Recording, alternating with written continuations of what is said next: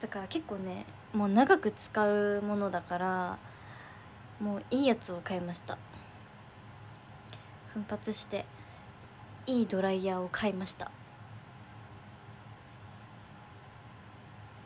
とねパナソニックのドライヤー買った。なんかすごいんですよ。ドライヤーに機能がいっぱいついててなんかなんていうの？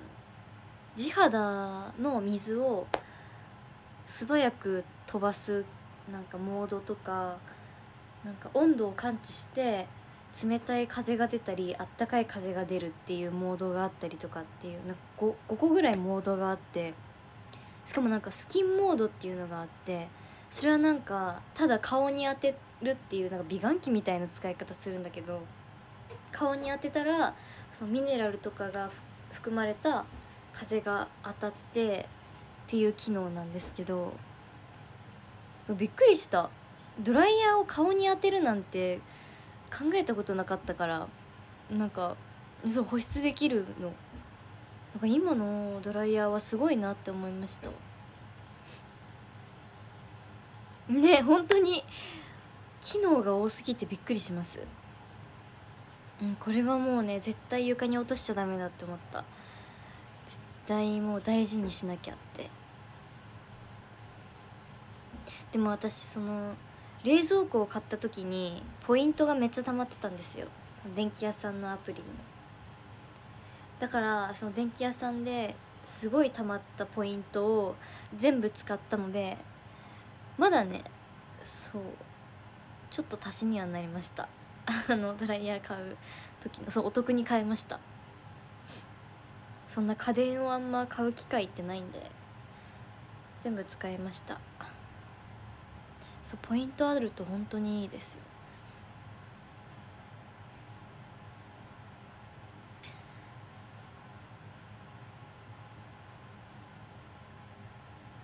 そうだから乾かせば乾かすほどくせ毛が取れるみたいな感じなのでまあ使うなんかもう毎日使うのが楽しみですすごく。そう。でも本当はねなんかダイソンのダイソンのあのドライヤーあるじゃないですか。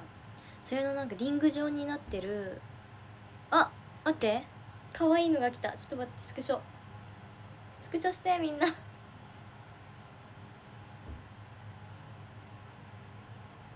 ありがとうございます。ちょっとね可愛いタワーが来ました。うんと。サンキューサンキューテンキューさん。可愛いなんかシンデレラみたいなディズニーみたい何これ可愛いい。シンデレラクマさんのタワーありがとうございます。可愛い。私ディズニー大好き人間だから。え嬉しい。シンデレラみたい。ありがとうございます。あガラスの靴。ありがとうございます。なりちゃん癖っ気なの？癖っ気？癖っ気っていうか髪が、まあ、癖っ気かうねるんですよね。うねっちゃうからそのうねりがもう癖毛なんですけど。そう。で私が他にも買う候補にしてたダイソンはリング状になっててなんかもう手が通せるぐらいのもうリング。から風が出てくるってやつなんだけどなんかどういう仕組みなのか分かんないけどそそれも良かったなと思ったんですけどそう筒がない筒がないっていうのがそう。それも良かったんだけどなんかなぜかというとドライヤーってそのだんだん汚れが溜まってくると詰まってくるんですよ。なんか風が出てくるところがあってここ蓋みたいな部分があるとしたらこの蓋みたいな部分にだんだんほこりがやっぱり詰まってくるからそれをなんかね掃除したりするのがめんどくさいなと思ってだからそのリング状のやつがいいなって思ったんですけどなんかねあんなに機能たくさんついてるのを見ちゃったらなんかああこれでいいかなみたいな感じで。普通の形のそうパナソニックさんを買いました。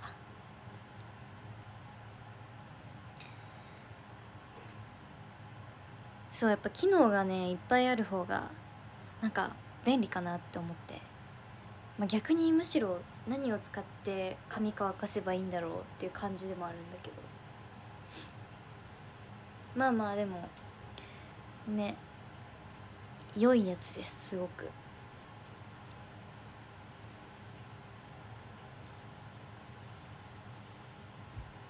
一応今日は毛先をちゃんとしてくれるモードを使いました。まあ毛先はまあまだ使い始めなんであれなんですけど。でもねドライヤーはあのー、使うことが大事だなと思いました。私ちっちゃい頃は本当に自然乾燥してたんですよ髪の毛。すごい長かったのに。腰ぐらいまで髪の毛あったのに自然乾燥してて今ではほんと信じられないんだけど自然乾燥しててだからね多分だからっていうのもあると思うんだけど髪が結構今よりもボリューミーでなんか扱いが大変だったんですけどねなんかやっぱ大人になってドライヤーをちゃんと使うようになってからはなんか髪がなんていうの昔ほどもさってなんなくなったっていうかそう。ドライヤーはみんな大事ですよ本当に。はい。みんなちゃんとドライヤーしてくださいね。変わる本当に。ボンバーっていうほどでもないんだけどストレートって言われればストレートなんだけどなんかもさかったすごく。そう。ふっくらしたストレートみたいな感じだった。これね今の方がむしろ髪質が良くなってると思う。そ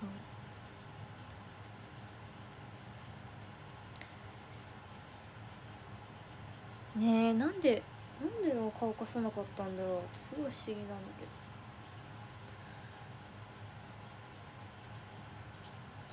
乾かさないとだって枕とかびしょびしょになるし。ね。でもなんか小さい頃枕がすごい濡れてたっていう記憶がないから、まあ、自然乾燥でしっかり乾いてたっていう感じだったんだろうなと思うけど。ね。昔は自然乾燥派でした。美容美容師さんに怒られてやめた？いや美容師さんにね自然乾燥ですなんて言ったらそりゃあね怒られますよ。そりゃ怒られます。ねえ本当にドライヤー変えてよかった。うん。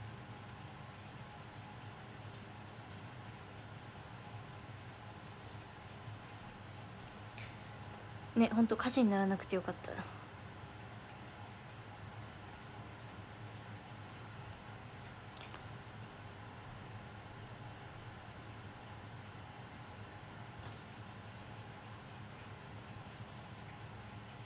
うんすぐ。すぐ乾かしてます。お風呂上がったら。ねだからもうね使わなくなったドライヤーはね早く捨てなければって感じです。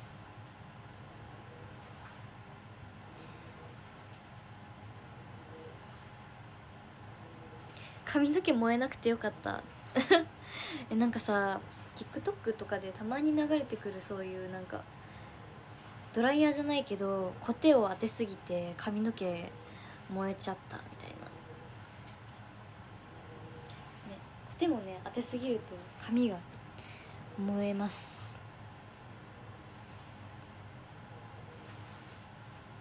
最近レプロレプロナイザーのドライヤー欲しい。レプロナイザーなんてかっこいい名前のがあるんですか？すごい。それもなんか結構いい値段しそうだね。えー、名前からして良さそうだ。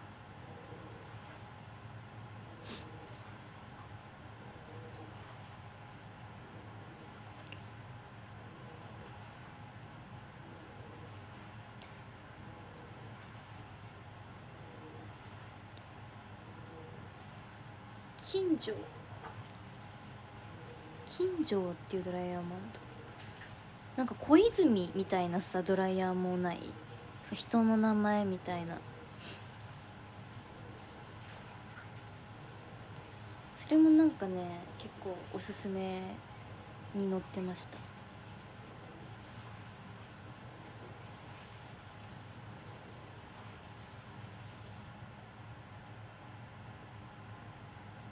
新庄新庄か。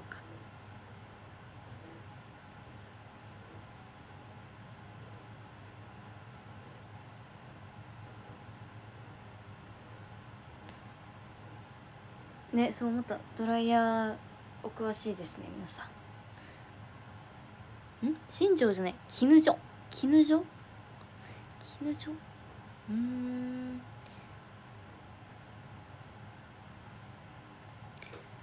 すごいっぱい種類があるな。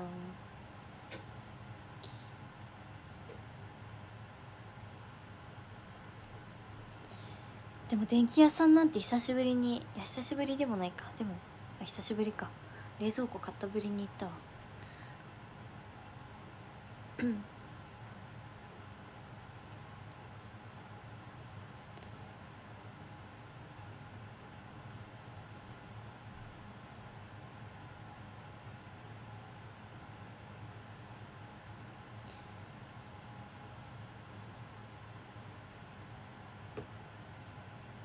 ちゃんとか女の子は高いドライヤー使ってそう。高い？どうなんだろうね。でもほんとピンキリだから。ねドライヤーって。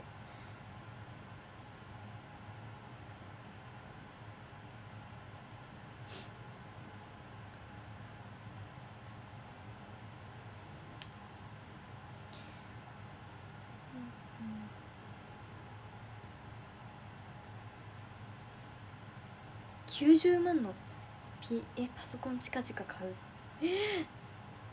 そんな。すごいね。めちゃくちゃいいパソコンだねそれ。そんな高いのあるんだ。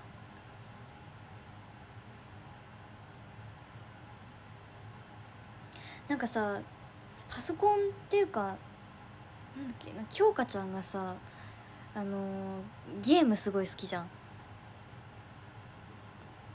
からその全部一式揃えましたみたいなツイートをいつだか見たんですよ。すごっと思って。なんか全部全部揃えるのってかなり大変じゃないみたいな。でもなんかねあんな可愛い顔してさゲーム一日中家でこもってやってますみたいななんかギャップ。めっちゃなんかいいなって思いました。可愛いなって思った。いやすごい。いやでもねあれだけ一式揃えたらなんか楽しいだろうなって思った。うん。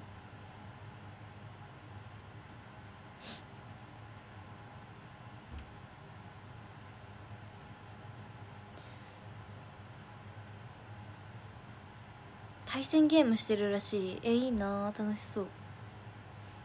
ゲーミングチェアは快適らしいよ。あそのゲーム専用の。椅子？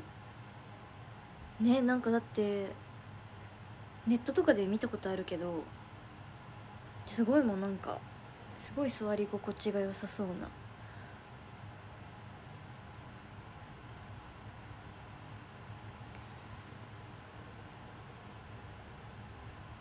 なんかすごい魔法の杖とかさガラスの靴とかさこのシンデレラ？今月はそういう日なんですか？なんか背景もちょっとシンデレラ意識みたいな。シンデレラのパロディみたいな。可愛いけどなんでこういうあれなんだろう。ね可愛いよね。そうちょっとディズニーっぽい。クリスマス近いからな。クリスマス関係あるのかな？かぼちゃの馬車タワーあるよ。えー、そうなんだ。すごい。かわいいですね。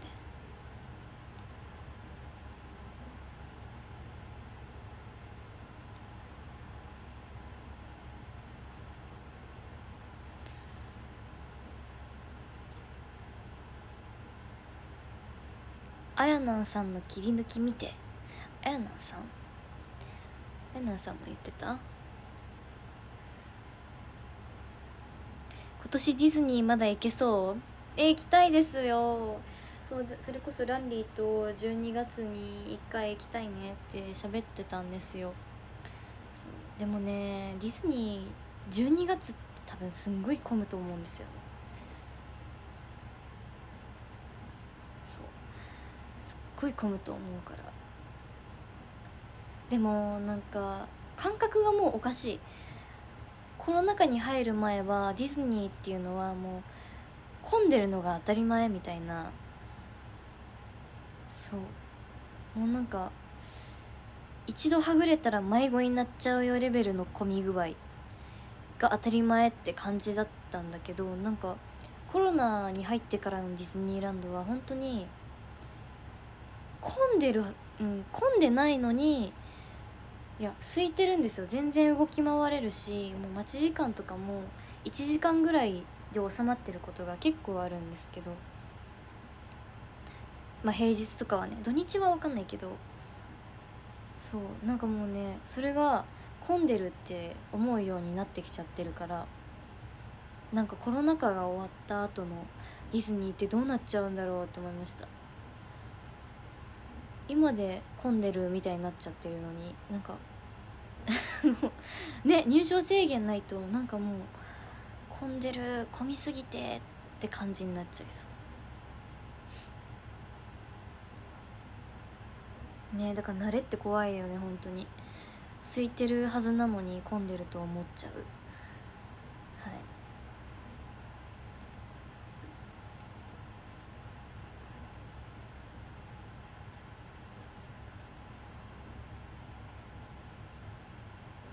そう北海道に住んでた時は北海道からディズニーランドに行くなんてもう一大イベントすぎてそう。ね。なんか小学校の時とかはさやっぱり旅行とかで学校休むみたいなことも何回かあったんですよ、まあ、中学生ぐらいになってくるとそういうのって厳しくなってくると思うんだけど小学生のうちはまだそういうことがそうできなくはないじゃないですか。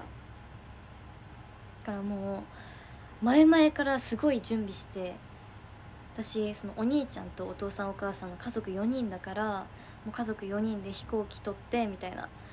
もうなんていうの？あの旅行会社さんともう相談を何回かしてみたいな。そういうなんかそしてやっとディズニー行くみたいな。本当にねもうなんていう計画に計画を重ねてって感じ。やっぱお得に行きたいじゃないですか。だからどうやったらお得に行けるかっていうのの繰り返しでした。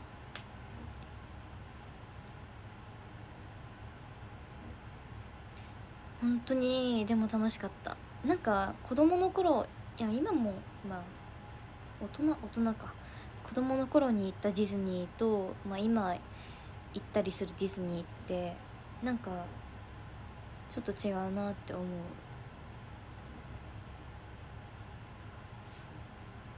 ね感覚？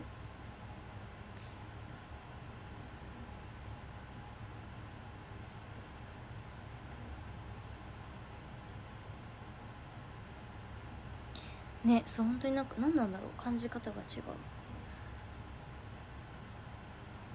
C が楽しい年になっちゃった。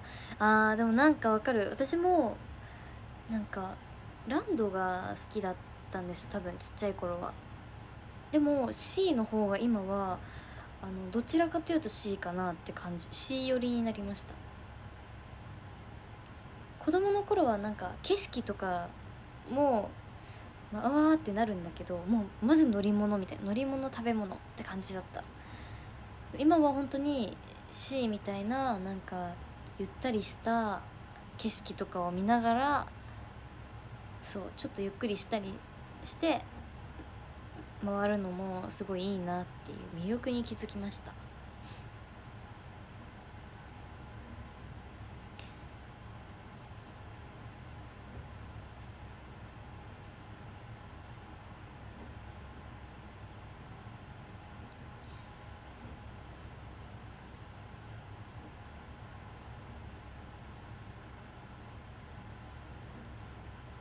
あそうでもねタワー・オブ・テラー乗れないんですよ私。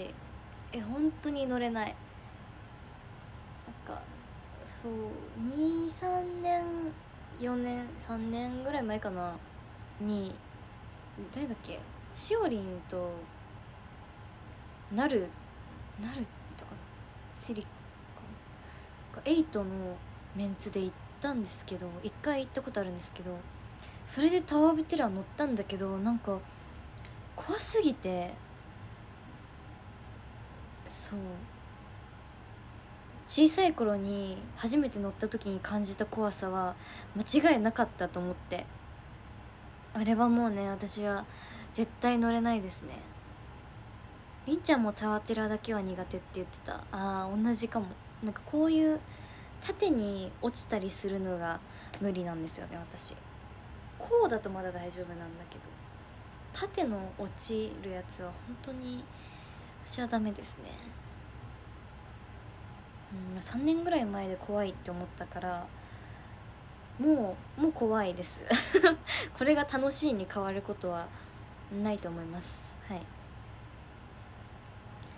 ね。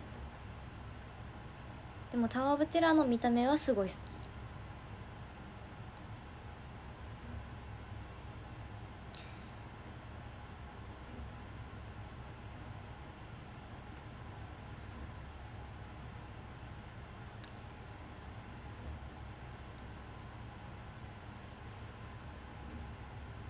自分は諦めてルスツリゾート行ってた。あルスツリゾートね私も行ったことありますよ。なんかあれすごいのホテルの中にあのメリーゴーランドがあるんですよルスツって。一回ね小学生の時に友達と行ったんですけど泊まりで。そう。もちろんそのメリーゴーランドも乗って 楽しかったです。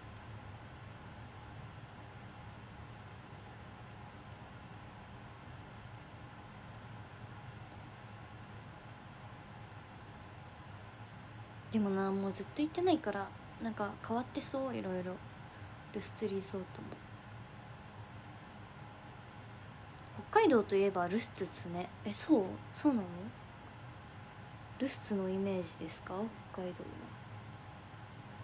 まあでも北海道といえばっていうテーマパークないないよねそんなにね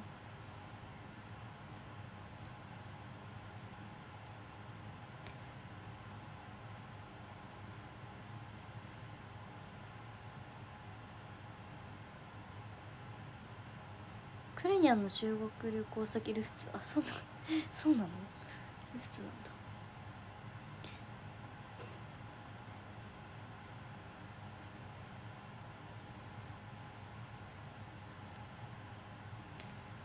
レモンスのなぎちゃん頑張ってたねおあ待って洗濯物が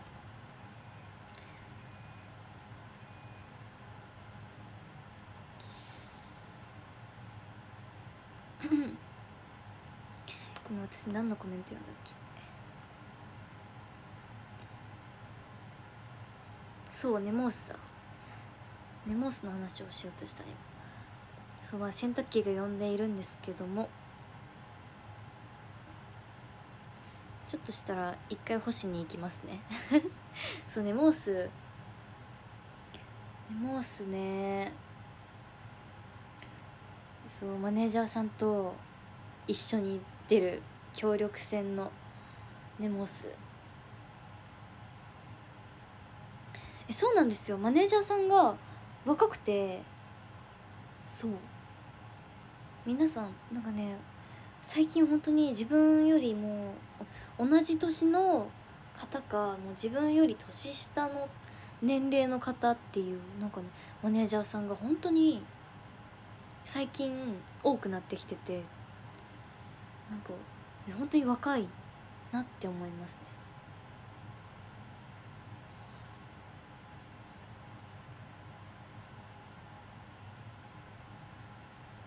そう B のマネージャーさんで。私より1個年下の方なんですけどすごい可愛い。声も可愛くてなんかねもうなんかどっちがアイドルなんだろうみたいになる。本当に。可愛くて。はい。よく私のあの個人での一人の仕事とかも結構そのネモンスに出てた B マネージャーの方がそう一緒に来てくれてたりするんですけどそう結構一緒になる機会多いマネージャーさんかも。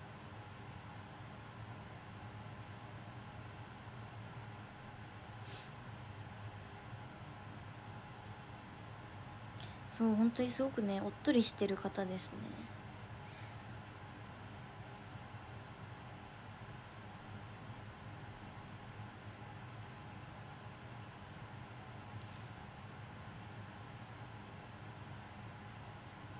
旭川イベントは別のマネージャーさんでした。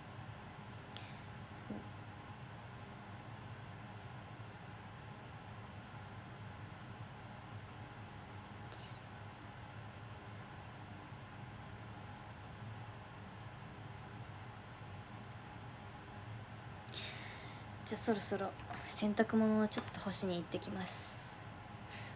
5分？5分以内だったら番にならないよねこれね。ならない。まあ時々顔出す。ちょっと待って。結構ね洗濯物多くて。ちょっと待っててください。ごめんなさい。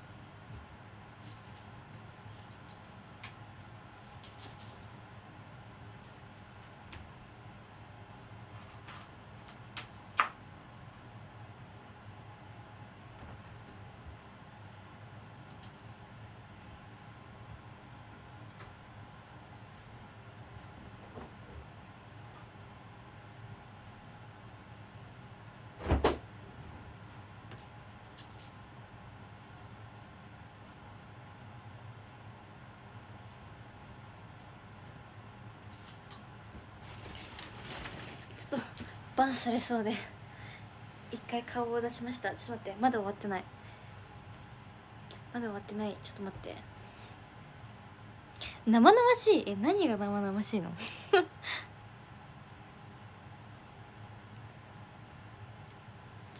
とね。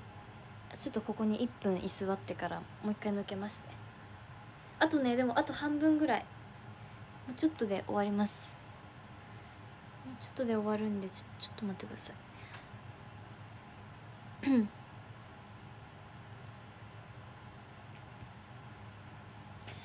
そうでもほぼねレッスン着ですね。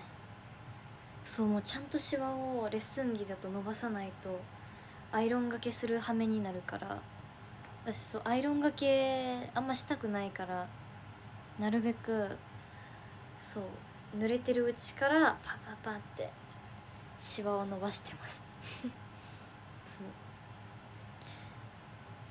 そう夜だけどなんか乾燥機？洗濯物を乾かしてくれる機械で乾かすんで大丈夫です。その音が すごいんですけどちょっと待っててください。じゃあもう一回行ってくる。ちょっと待ってて。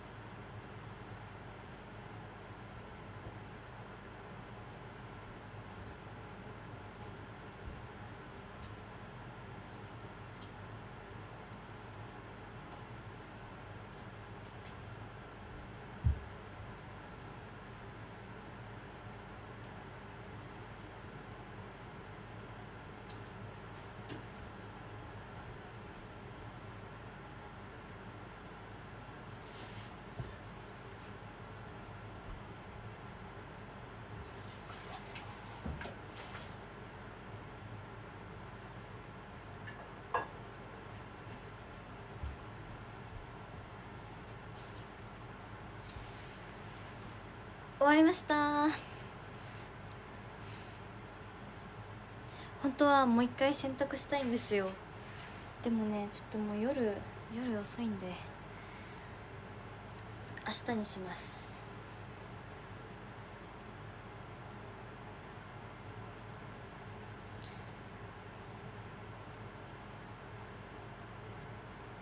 ねよかった。バンされなくて。よかった。明日は早いの？そうですね。明日はうんちょい早。明日イベントじゃないですか。しかも元彼ですと失恋ありがとうのリアルイベント。ねやっと開催できますね。ねでも昨日今日でリハーサルしたけどそうあれライブもあるじゃないですか。ちょっとねいやうん。かなりいやうん不安。ライブうんライブがすごい不安ですね。なんか昼夜で曲は一緒だけど位置が変わる曲ポジションが変わる曲が何曲かあるのでちょっと不安。うん。あサンキューサンキューテンキューさんが。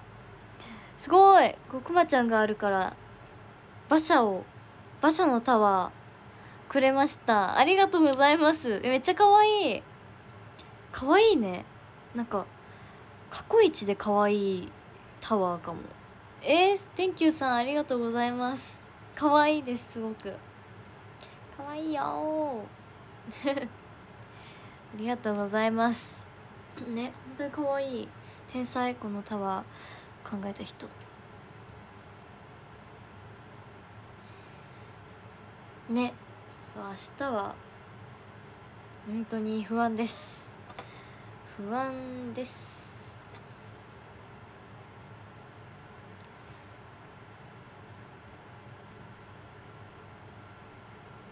うんなんか同じ曲なのになんでポジション変えられちゃうんだろうみたいな。ね昔からそういうのはやっぱありますよね。疑問に思う。まあでもいろいろあるんですけど。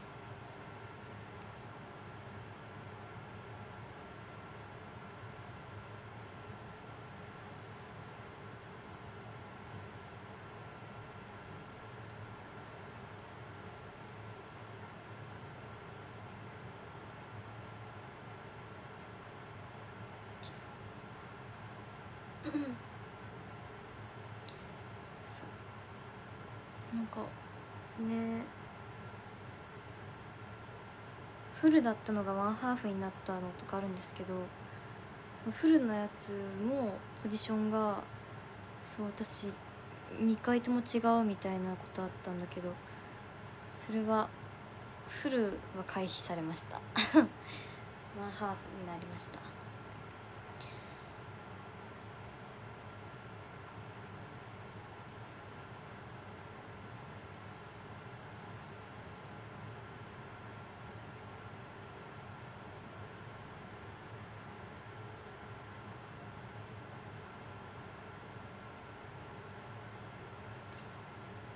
ねでも結構人数がいらっしゃいますよね。そう限定ライブではあるんだけど結構しっかりあの人がたくさんいる？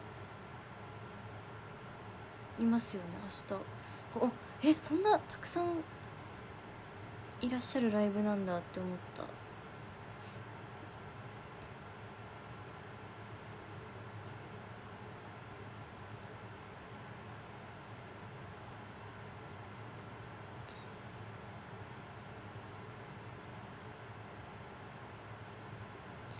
ねなんかあのー、なんだっけあそうじサイン？サインを書くよっていうなんかイベントも中にあるんですけどそれもねみんななんか何にサインしてもらおうって結構悩んでたのであそう私物サイン会？が明日みんなが 私物何持ってくるんだろうってすごい気になってます。ね。いつもはさ色紙とかによく書いてるけどなみんな何を持ってくるのかな。楽しみです。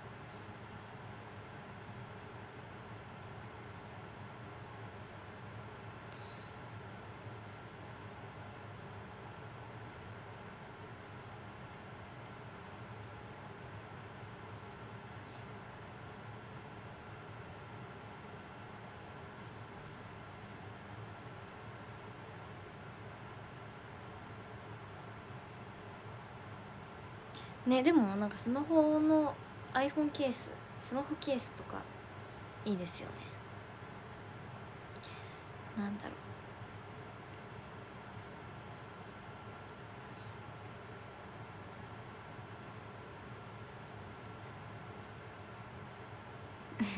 お金とかはそれはさすがに。えそういえばあの紙幣に乗ってる人変わりますよね。そう。野口英世とかじゃなくなる。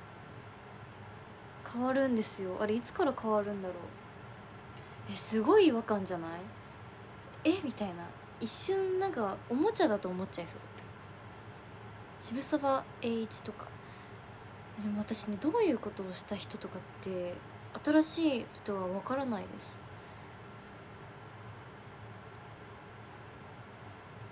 えー、印刷始まってるらしい。そうなんだ。えでもやっぱさ福沢諭吉さんは変わらないでほしかったなっていうのは正直あるけど。ね。なんかもう名前からしてなんかもうそれじゃん。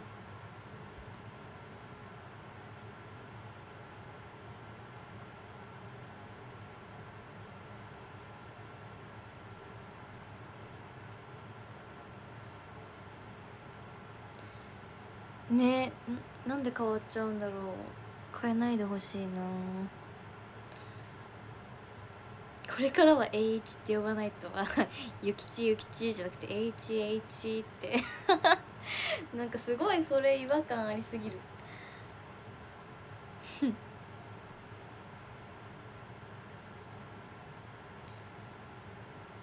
ねそう裏の絵も変わりますよね。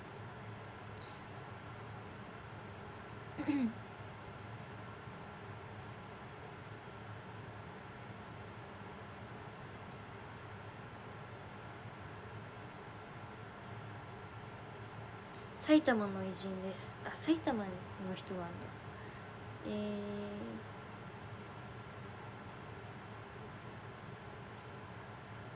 でもあれって何年単位で変わるんだろう？聖徳太子のバージョンですか？もう見たことありますよ。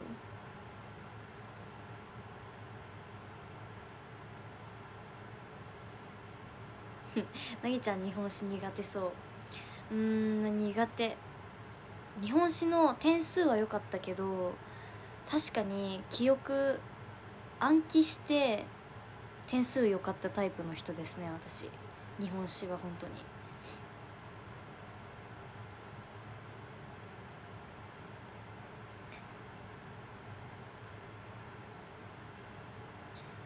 そうなんかね日本酒はねなんかいけた。日本酒は暗記でもいけるよね全然。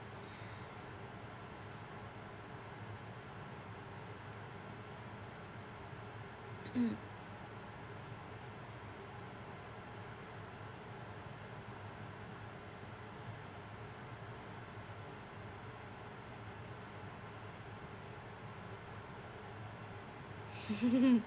ね 暗記してまあ何個かだけ頭に残るっていう。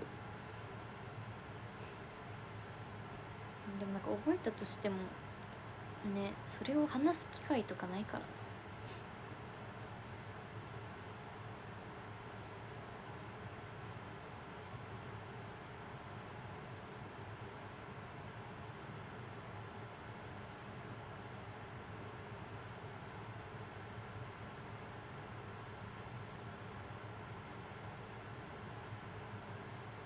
日本史の先生は面白いイメージがある。えー、うん確かに。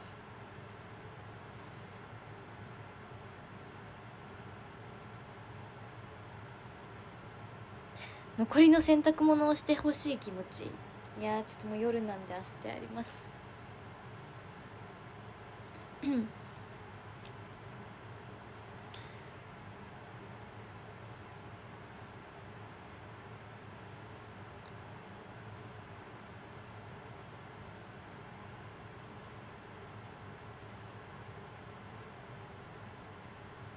世界史は先生で嫌いになった。えー、そっちタイプ？でもわかる？なんかその専門教科の人で得意教科になるとかってまああるっちゃあるよね。ね。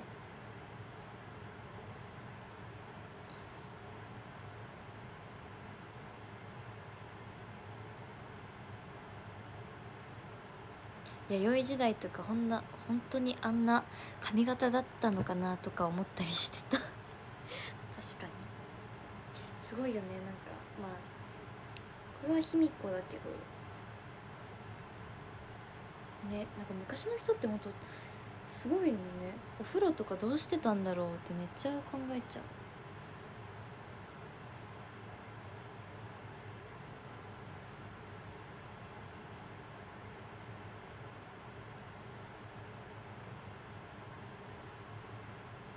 ね冬とかさ絶対寒かったよねって思う。今の時代はもうさエアコンピッてつければもうさあったかいってなるんだけど昔だってやっぱ火を起こせないと火を起こすまでも大変だし火を起こしてからも近くにいないと寒いしね。毛皮とかで寒さしのげんのかな。私は毛皮を着たことがまあ、本物の毛皮を着たことがないからあれですけど。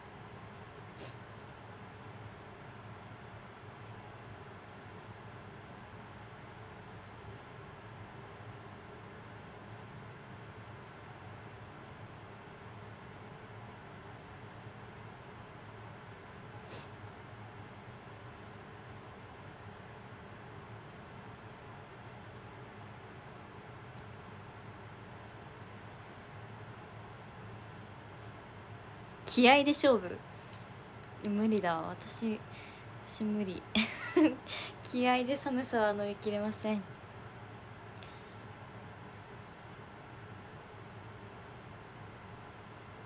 ナターシャの衣装は毛皮じゃん。まあ毛皮？毛皮だけど本物は毛皮ではない。やっぱ本物はすごいあったかいと思う。うん。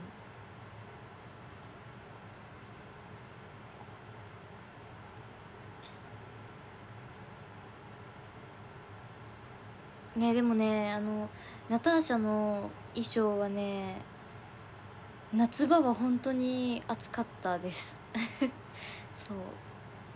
暑いし踊って汗かいて暑いしみたいな。まあでもこれからの季節冬になるのでまあ踊ってるから暑いっていう暑さだけになるっていうのはまあいいかなと思います。毛皮はね脱ぐのも大変なんですよ。あれの後が女子高生はやめられないっていう曲なんですけどもうサビ？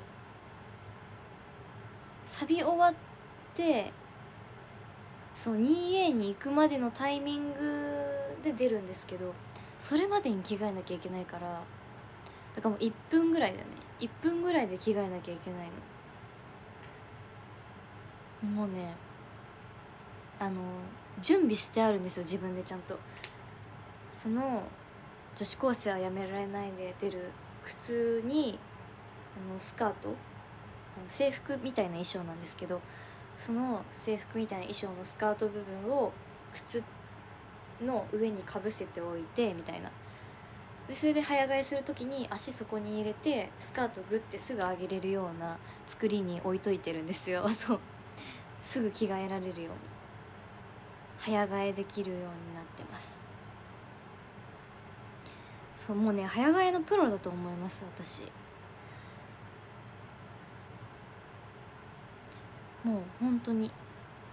早替え上手なメンバー上位に入ってると思う私。本当に早いですから。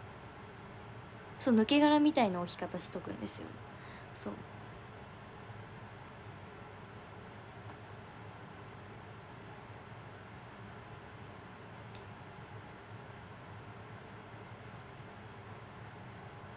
でもねたまになんかそのナターシャであのネックレスつけてるんですけどすごいごついネックレス。たまにそれが取れないんですよね。なんか引っかかっちゃってっていうかそう金具のそう止める位置が多分ねあの本来止める場所じゃないところに止めちゃったりとかするんですよ。私自分でこうやってつけちゃうから。そう。それを取れない時が本当に大変です。もう取れない時はもうそのネックレスごっついネックレスつけたまま制服着てます。そう。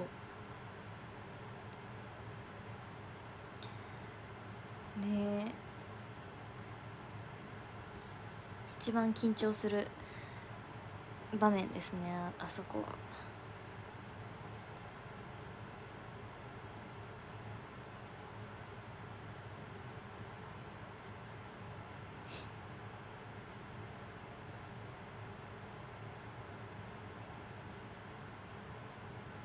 ねやっぱ中にしまってるから見えないんですけど。そう。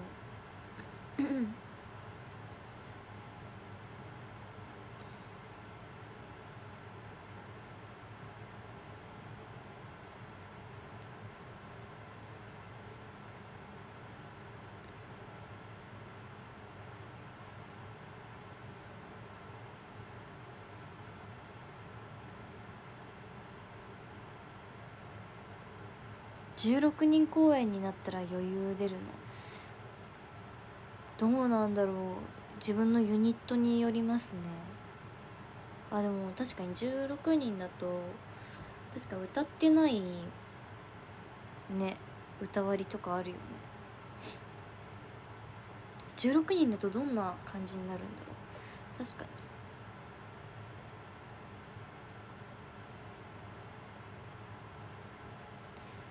そうだよね。楽屋は大渋滞するだろうなって思います。もうなんか8人になりすぎちゃってなんかこれ16人に増えたらえ？なんかね想像ができないです。今まで16人でやってたのにもう8人になれちゃって。すごいよね。だって16人でスケジュールもだって16人分合わせなきゃいけないってことだからそれなのにほぼ毎日のように公演をやれてたっていうなんかすごいなって思います今考えたら。ね。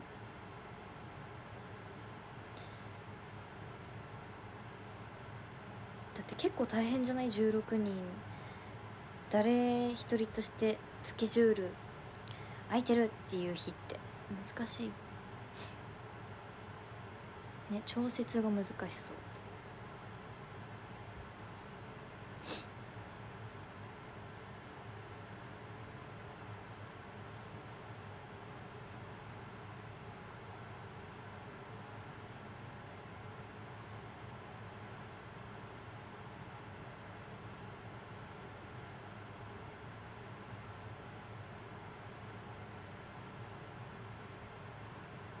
うん。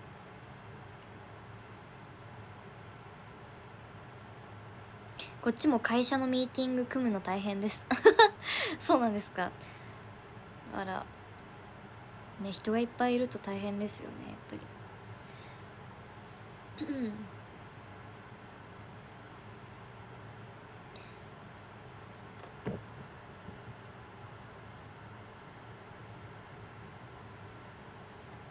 美公園行きたい。えー、来てよ。来てください。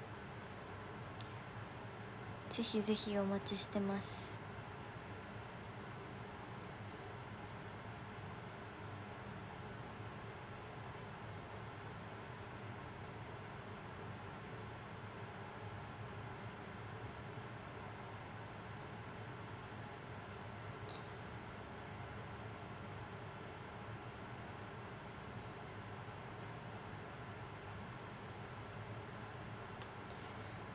15日の波動？波動行きます。そう15にあるのか。そう15だったね。でも私ね波動はねあのー、下手くそですね。はい。次の波動はね京香ちゃんとせなたんです。みんな身長が多分ほぼ一緒っていうシビーズです。なんか一時期強い時あったんですけどなんかあのやればやるほど弱くなってますね。私。本当にこんなに出ててなんで弱いんだよってそろそろなんかみんなから叩かれそうでそういう意味で怖い。てかなんかねだんだん波動がトラウマになってきててそうもうなんか前々回ぐらいからもうね正直トラウマなんです波動が。そうもうね高知を本当に降りたくて。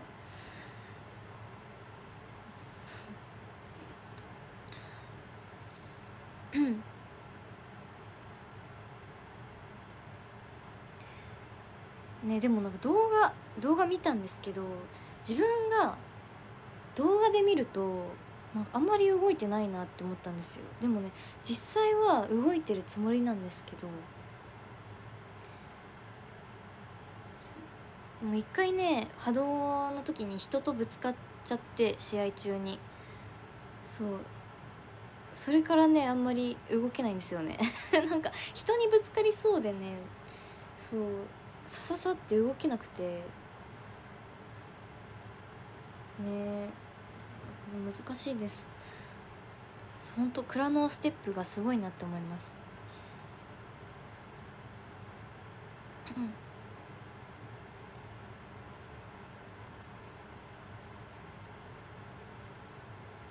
ねでもこんなにトラウマになっちゃうようなイベントじゃないんですよ。でも波動っていうのは。楽しんでやろうっていうのが波動なんですよ。なんかねダメですね。そう。楽しまないといけないんですよ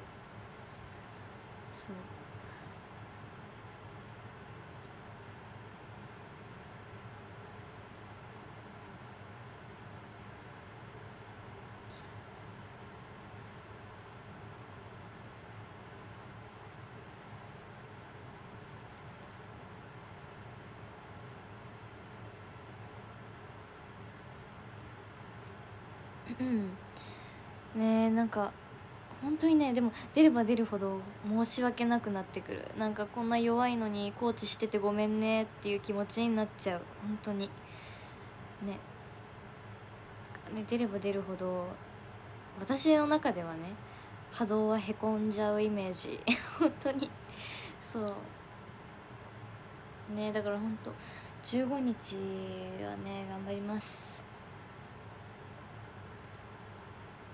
でも京香ちゃんが強いんですよ。ゲーマーっていうのもあると思うんですけど。そう。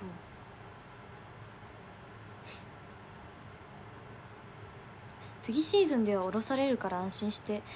いやてか安心してっていうか私から言いました。次のシーズンはコーチ絶対降ろしてくださいって。だから多分次のシーズンは私コーチじゃないと思う。あったとしてね次のやつが。あるか分かんないけど。でも私自分から言ったからもうねもうコーチじゃないと思います。もうお腹いっぱいですコーチは。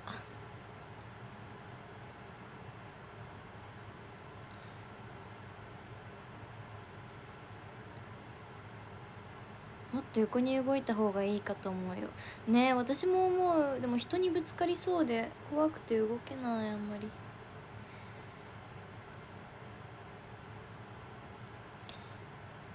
ねまあ15日。15日ね。ボールくださいね皆さん。うん。